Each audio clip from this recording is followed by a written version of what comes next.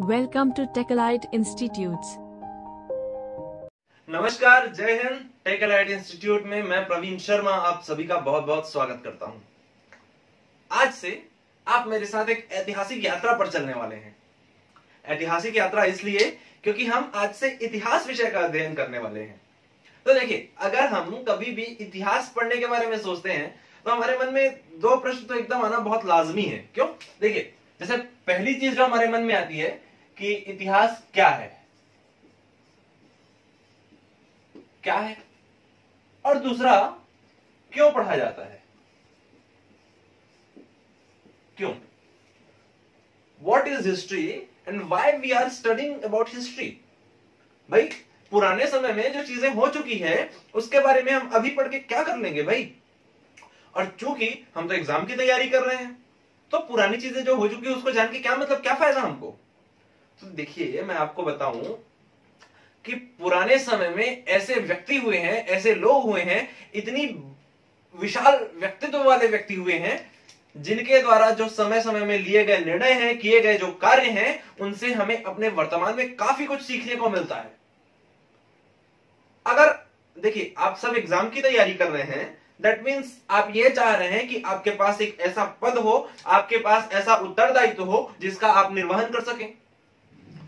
और इस अधिकार और उत्तरदायित्व के बीच में आता है एक बहुत महत्वपूर्ण बिंदु, जो कि है निर्णय डिसीज़न और इतिहास के बारे में आप पढ़ेंगे तो आप पाएँगे कि कितने क्रिटिकल सिचुएशन में भी कितने सही निर्णय लिए गए लोगों के द्वारा।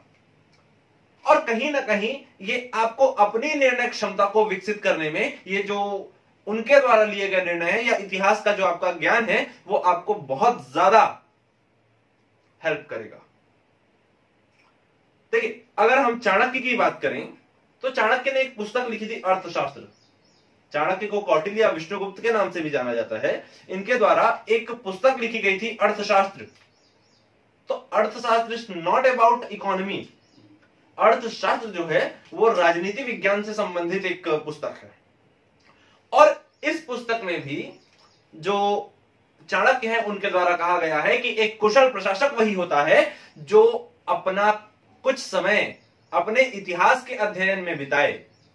अर्थात एक अच्छे प्रशासक को अपने इतिहास का ज्ञान होना बहुत ज़्यादा आवश्यक है, क्योंकि इतिहास का अगर उसे ज्ञान होगा, तभी वो अपने भविष्य के लिए रणनीतियाँ तैयार कर पाएगा। भविष्य में आने वाली जो सिचुएशन है, उस पर अपना निर्णय या अपना डिसीज़न वो है, दे पाएगा उचित रूप से।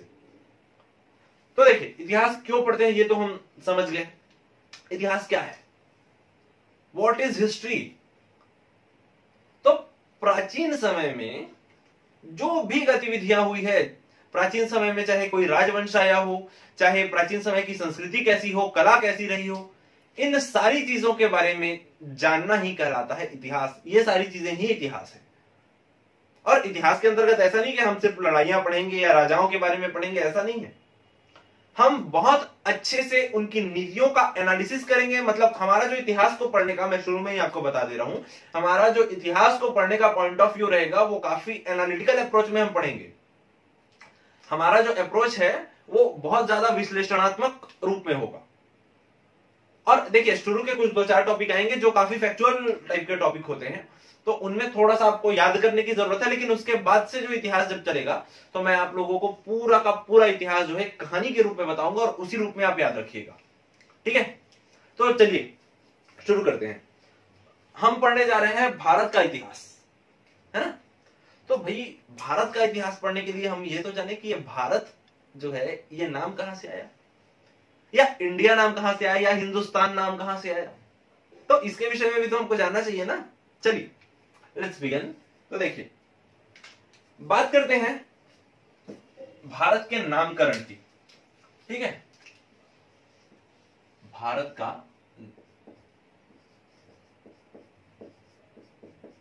भारत का नाम करण भारत का नामकरण। जब हम इतिहास पढ़ना शुरू, देखिए, अभी हम इतिहास पढ़ना शुरू नहीं कर रहे हैं ना, हम केवल एक जनरलाइज वे में इतिहास पढ़ने के पहले एक मानसिकता बनाने का प्रयास कर रहे हैं इतिहास को पढ़ने के लिए। ठीक है? तो भारत के नामकरण की अगर हम बात करते हैं तो पहले नंबर पर हम देखेंगे तो जब आर्य भारत में आए, आर्यों का आगमन हुआ भारत में तो उस समय, देखिएगा आप, मैप के थ्रू मैं थोड़ा सा आपको बताऊँगा वैसे इंडिया का मैप आपको क्लियर होगा। अगर नहीं होगा मैप क्लियर तो आप बिल्कुल इंडिया का मैप जो है वो क्लियर कर लीजिए, है ना? देखिए, अगर हम भारत के ये ऊपरी क्षेत्र की बात करें, कुछ इस तरह से। इसके बाद से ये इस तरह से निकल जाता है ऐसा। तो ये है हमारा भारत। आर्यों का जो आगमन हुआ था, वो हुआ था इस वाले बेल्ट में, शुरू में। ठीक है? और चूँकि यहाँ पर सिंधु और उसकी सहायक नदियों का बहाव था इस क्षेत्र में, इसलिए जब शुरू में आर्यों का यहाँ पर आगमन हुआ तो इस जगह को कहा गया सप्त सैंधव प्रदेश।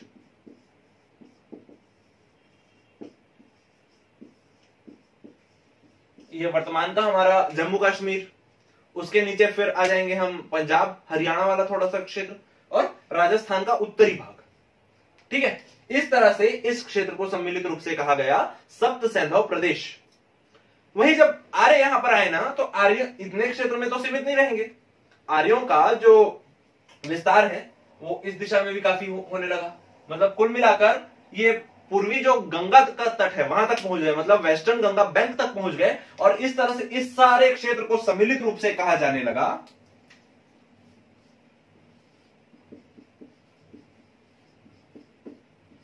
आर्यावर्त आर्यावर्त आप लोगों ने कोई पंडित अगर आके श्लोक पढ़ना शुरू करता है ना तो आप लोगों ने सुना होगा, जम्बूद्वीपे भरतखंडे आर्यावर्ते भारतवर्षे तो ये जम्बूद्वीप, भरतखंड आर्यावर्त भारतवर्ष, ये सब भारत के ही नाम है।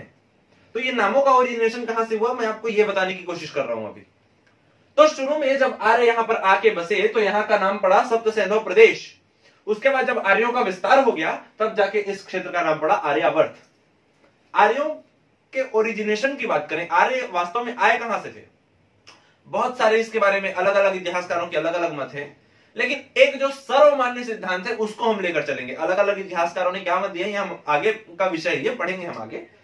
लेकिन एक जो सर्वमान्य सिद्धांत है, जो कि मैक्स मुलर के द्वारा दिया जाता है, उसके द्वारा यह माना जाता है कि आर्यों का आगमन भारत में मध्य एशिया, अर्थात सेंट्रल एशिया से हुआ था। ठीक है? एशिया का जो मध्य भाग है ना, वहाँ से इनका जो आगमन है भारत में, वो हुआ था। इनके विस्तार की बात करें भाई, अब कहाँ से कहाँ तक इनका विस्तार है आर्यों का? तो देखिए, ऊपर में कश्मीर कश्मीर, नीचे नॉर्थन राजस्थान। मतलब उत्तरी राजस्थान, इधर अफ़गानिस्तान। इधर अफ़गानिस्तान तक फैला था। और इस साइड पे वेस्टर्न गंगा बैंक या पूर्वी गंगा तट तक ये जो हमारा आर्य जो सभ्यता है, वो फैली हुई थी। तो इस तरह से भारत के दो नाम हमने देखे सप्त सैंधव प्रदेश और आर्यावर्त। ठीक है? चलिए। अब अगले नामों पर थोड़ा विचार करते हैं।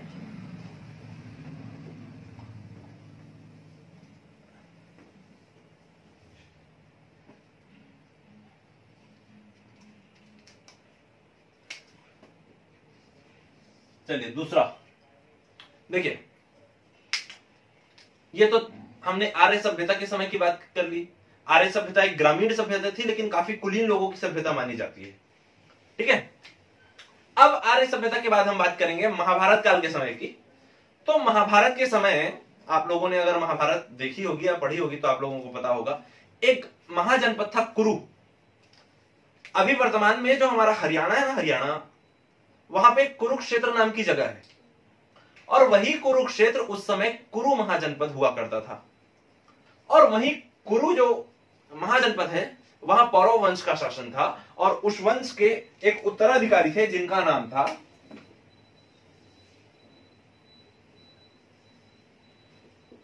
दुष्यंत। इनकी पत्नी का नाम था शकुंतला। शकुंतला। और इन्हीं दुष्यंत और शकुंतला का एक महापराक्रमी पुत्र था, महाप्रतापी पुत्र था जिसका नाम था भरत। भरत। आप लोगों ने एक फ़ोटो देखी हुई कहीं कहीं पर लगी हुई। एक छोटा सा बच्चा होता है बच्चा। और वो बच्चा ना ऐसे गोद में लेके शेर जो होता है ना, उसका दांत गिन रहा होता है। एग्जैक्टली exactly ये वही भरत है। तो राजा दुष्यंत और रानी शकुंतला का पुत्र था भरत। और ऐसा माना जाता है कि इन्हीं भरत के नाम पर, इनके, भरत की जो विशेषताएँ हैं, भरत का जो पराक्रम है उसको देखते हुए इन्हीं भरत के नाम पर हमारे देश का नाम भारतवर्ष रखा गया। वहीं अगर हम जैन माइथोलॉजी की बात करें, जैन माइथोलॉजी या फिर जैन मान्यता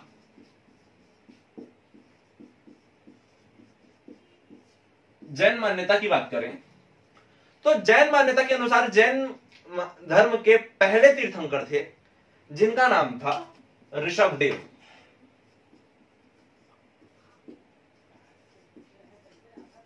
ऋषभ देव और ऋषभ देव के दो पुत्र थे। दो पुत्र। एक का नाम था गोमतेश्वर। गोमतेश्वर। और ये देखिए अभी भारत की सबसे बड़ी मूर्ति किसकी है? तो स्टैच्यू ऑफ़ यूनिटी साधु बेटा आइलैंड पे सरदार वल्लभ भाई पटेल की प्रतिमा है। लेकिन जब तक वो नहीं बनी थी, भारत की सबसे बड़ी मूर्ति होने का जो श्रेय है, वो प्राप्त था गोमतेश्वर की प्रतिमा को, जो कि कर्नाटक के श्रवण बेलगोला नामक स्थान पर है। ठीक है? तो ये हो गए गोमतेश्वर, इनके एक पुत्र थे। वहीं इनके दूसरे पुत्र का नाम था भरत। भरत।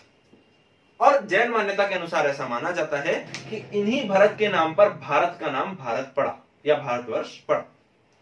ठीक? क्लियर हुई ये बात? देखिए। अब अगले पॉइंट पर चलते हैं। हिंदुस्तान।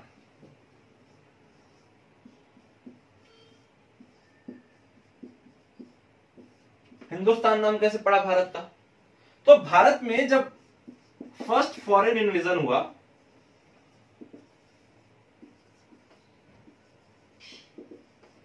या इसे ही प्रथम विदेशी आक्रमण भी कहते हैं। तो भारत में प्रथम विदेशी आक्रमण किनका हुआ? तो हुआ फारसी लोगों का। या इन्हें अंग्रेज़ी में हम पर्शियंस कहते हैं। वर्तमान में ईरान के लोग होते हैं ये, है ना? वर्तमान का जो ईरान है, उसे हम पहले फारस कहते थे। या पर्सिया कहते थे मूवी भी देखी होगी आप लोगों ने। प्रिंस ऑफ़ पर्सिया ये एग्जैक्टली वही फारस है। वही ईरान है, वही पर्सिया है। तो भारत में पहला विदेशी आक्रमण हुआ था, ये भी अपने आप में फैक्ट है ना, याद रखिएगा। भारत में पहला विदेशी आक्रमण हुआ था फारसियों का, और इसमें भी जिसने आक्रमण किया था, उसका नाम था दारा प्रथम। या इसे ही अंग्रेज़ी में डेरिस फ़र्स्ट भी कहा जाता है। तो देखिए, अब ये जो लोग थे ना, ये सिंधु नदी को इंदु इंदु कहते थे। और इस तरह से इनके इंदू बोलने से हिंदुस्तान नाम जो है, ये पड़ गया भारत का। अब ये बोले, सिंधु नदी, अब देखिए, उधर से अगर ये भारत में आएँगे, ये ऊपर से अगर आक्रमण करेंगे भारत में तो सिंधु नदी तो सबसे पहले पड़ेगी ना उनको। तो सिंधु नदी को यह हिंदू कहते थे और इसी हिंदू के चलते हमारा जो भारत देश है, उसका नाम एक हिंदुस्तान भी पड़ गया। तो अल्टीमेटली कहने का यह मतलब है कि हिंदुस्तान नाम हमें किसने दिया? था हमें ईरानियों ने या फारसियों ने दिया था। याद रखिएगा। ठीक है? चलिए नेक्स्ट देखते हैं। ये ऊपर मिटा रहा हूँ ना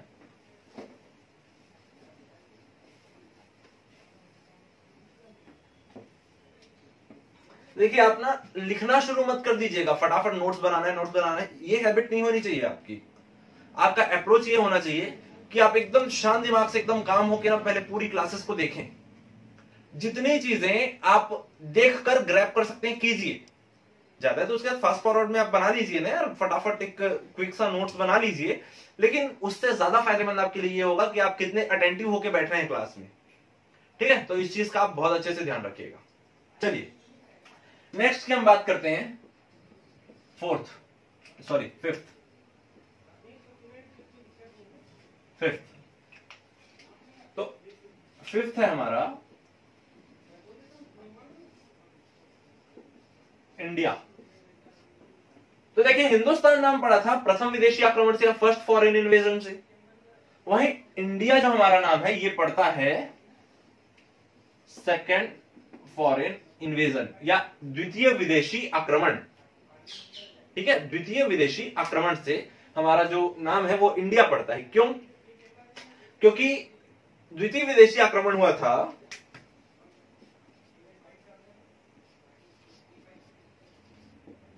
सिकंदर का, जिसे सिकंदर महान या अलेक्जेंडर द ग्रेट कहा जाता है। इनका आक्रमण हुआ था इंडिया में। ये बेसिकली बिलोंग करते थे। ग्रीस, या इसे ही यूनान भी कहते हैं। ठीक है? तो द्वितीय विदेशी आक्रमण किसका हुआ था भारत में? यूनानियों का हुआ था, या ग्रीस लोगों का हुआ था? ग्रीक्स कहा जाता है है ना? और आक्रमणकर्ता कौन थे? तो थे हमारे सिकंदर, अलेक्जेंडर द ग्रेट। इनके द्वारा जब आक्रमण किया जाना था तो जो सिंधु नदी थी, उनको ये इंडस कहते थे। इंडस। भाई, इनकी वैकेबलरी में ही स शब्द नहीं होता। तो सिंधु ये तो बोल ही नहीं पाते थे। तो ये इंडस कहते थे उसे। और उसी इंडस के कारण हमारा जो देश है, उसका नाम इंडिया पड़ा। ठीक है? तो इस तरह से कुछ भारत के नाम थे। हमने देखा आर्यावर्त, जम्मू, और उसके बाद सप्त प्रदेश, भारतवर्ष, फिर हिंदुस्तान और इंडिया। इस तरह से भारत के पाँच नामों पर हम बात कर ली। लेकिन, देखिए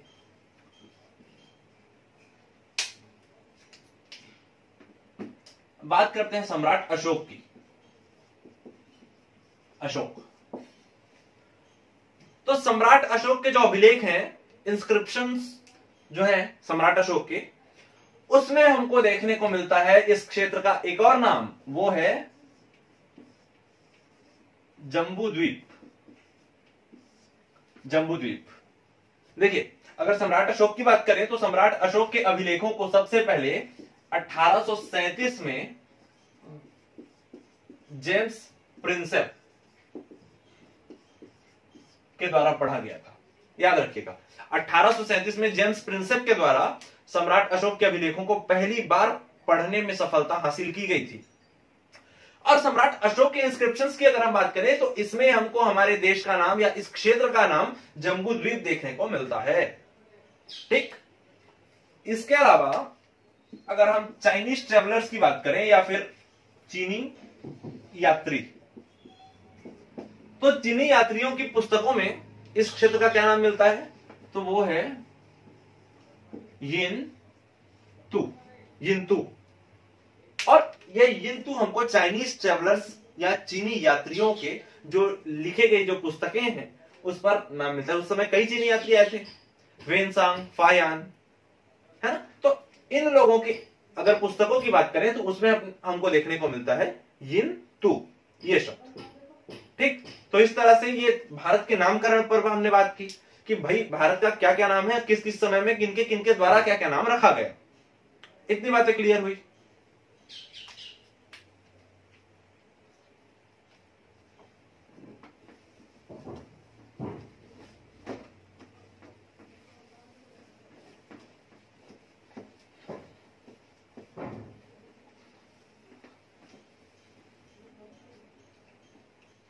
ये तो हमने भारत के नामकरण पर बात की। अब हम देखते हैं कि हमारा इतिहास को पढ़ने का अप्रोच कैसा होगा। किन किन सेगमेंट्स में बांटकर हम जो हमारा इतिहास है, भारत का इतिहास है, उसको पढ़ने वाले हैं। तो ठीक है, यह भारतीय इतिहास और भारतीय इतिहास को बेसिकली बांटा जाता है तीन भागों में। ठीक है? पहला आ जाएगा प्रागैतिहासिक काल।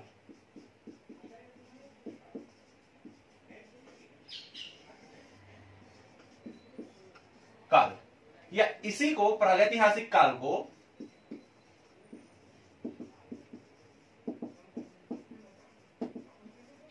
प्री हिस्टोरिक पीरियड भी कहते हैं। इसके बाद आता है आद्य ऐतिहासिक काल।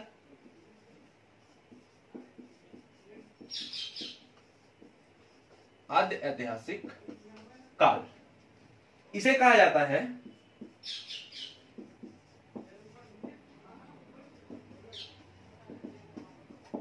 प्रोटो हिस्टोरिक पीरियड उसके बाद आता है ऐतिहासिक काल। ऐतिहासिक काल, जिसे हम हिस्टोरिक पीरियड के नाम से जानते हैं। ठीक है? तो भारत का इतिहास तीन भागों में। दिमाग में बैठाते चलिए आप। तीन भाग। प्रागैतिहासिक काल प्री हिस्टोरिक पीरियड फिर आद्य ऐतिहासिक काल आता है और आद्य ऐतिहासिक के बाद आता है ऐतिहासिक काल। इस तरह से तीन भागों में हम भारत का जो इतिहास है उसको बांटकर पढ़ते हैं। प्रागैतिहासिक के अंतर्गत हम क्या पढ़ेंगे? तो प्रागैतिहासिक काल के अंतर्गत हम पढ़ने वाले हैं पाषाण काल। पाषाण काल या स्टोन एज स्टोन एज आद्य ऐतिहासिक काल के अंतर्गत हम पढ़ेंगे आईबीसी या इसे ही कहा जाता है। सिंधु घाटी सभ्यता।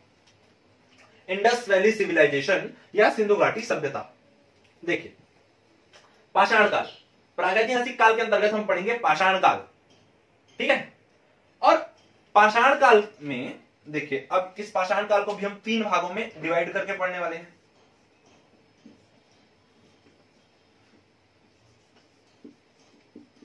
पूरा पाषाण काल, उसके बाद मध्य पाषाण काल और फिर उत्तर पाषाण काल।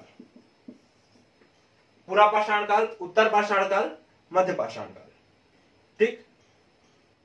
देखिए, इसके टाइम पीरियड की हम बात करें तो जब से मानव का प्रारंभ हुआ है, प्रारंभ, तब से लेकर दस हज़ार बीसी तक के आएगा पूरा पाषाण काल। उसके बाद मध्य पाषाण काल की बात करें तो दस हज़ार से पचपन सौ बीसी। आ जाएगा। उसके बाद उत्तर पाषाण काल जो है, ये पचपन सौ से लेकर तीन हज़ार बीसी तक आएगा हमारा। ठीक? इसके बाद सिंधु घाटी सभ्यता पढ़ेंगे और ऐतिहासिक काल। देखिए, यहाँ पर बीसी बीसी से आप क्या समझते हैं? तो ये बीसी किस चिड़िया का नाम है? भाई तो आप जो सोच रहे हैं ना वाला बीसी बिल्कुल नहीं है। ये ठीक है? बीसी का मतलब होता है before Christ Christ before Christ देखिए, जैसे जो जीसस क्राइस्ट थे ना, या ईसा मसीह जिनको कहते हैं, इनके जन्म को अगर आप ज़ीरो मान के चलें तो इससे पहले का जो भी समय है, वो हम बीसी में काउंट करते हैं बिफोर क्राइस्ट में, और इनके बाद का जो समय है, वो हम एडी में काउंट करते हैं। हिंदी में इसे ही ईसा पूर्व कहते हैं और इसे ईसवी कहते हैं। ठीक है? यह चीज़ आप ध्यान में रखिएगा। तो इतनी बातें हो गई। अब देखिए, ये जो हमारा ऐतिहासिक काल है, इसको भी हम तीन भागों में बांटकर लेकर चलेंगे। देखिए, इसमें हम पढ़ेंगे प्राचीन भारत, फिर मध्यकालीन भारत उसके बाद हम पढ़ेंगे आधुनिक भारत। आधुनिक भारत। ये प्राचीन भारत में हम पढ़ेंगे कि भारत में राजवंशों का उदय किस तरह से होता है, फिर किस तरह से अलग अलग महाजनपद बनते हैं अलग अलग वंशों का किस तरह से शासन चलता है भारत में, इसके बारे में पढ़ेंगे। फिर कुछ विदेशी आक्रमण जो हुए थे, वही ग्रीक, यूनानी, फारसी, इन लोगों के बारे में पढ़ेंगे हम प्राचीन इतिहास में। इसके बाद मध्यकालीन इतिहास आता है तो मध्यकालीन इतिहास में हम दिल्ली सल्तनत के बारे में पढ़ेंगे। मोहम्मद गोरी हो गया, महमूद गजनवी हो गया, इन सब के बारे में पढ़ेंगे। उसके बाद मुगलों के बारे में पढ़ेंगे, मराठाओं के बारे में पढ़ेंगे और इस तरह से मध्यकालीन भारत को क्रॉस करते हुए हम जब आधुनिक भारत में जाएँगे तो किस तरह से यूरोपीय कंपनियों का भारत पर शासन होता है, आक्रमण होता है, इस बारे में पढ़ेंगे और इसके पश्चात किस तरह से हमारी स्वतंत्रता की लड़ाई होती है, भारत में राष्ट्रवाद का उदय होता है और उसके पश्चात भारत को उन्नीस सौ सैंतालीस में पंद्रह अगस्त के दिन आज़ादी मिलती है। यहाँ तक की संपूर्ण घटनाओं को हमको इतिहास के अंतर्गत पढ़ना है। तो हम एक क्रमबद्ध तरीके से step by step cover up करते हुए चलेंगे, एकदम कहानी के रूप में पढ़ेंगे, है ना? और उन्नीस के बाद हुई कुछ महत्वपूर्ण घटनाओं पर भी हम चर्चा करेंगे, ठीक है? तो ये एक हमारा ओवरव्यू है कि हम भारतीय इतिहास को किस तरह से पढ़ने वाले हैं। तो ये एक इंट्रोडक्टरी क्लास थी तो इस क्लास में बस इतना ही। कल से जो हमारी क्लासेस चालू होंगी, उसमें हम एक के बाद एक स्टेप बाय स्टेप जो है, वो सारी चीज़ों को बहुत अच्छे से कवर अप करते हुए चलेंगे। तो बस बने रहिएगा और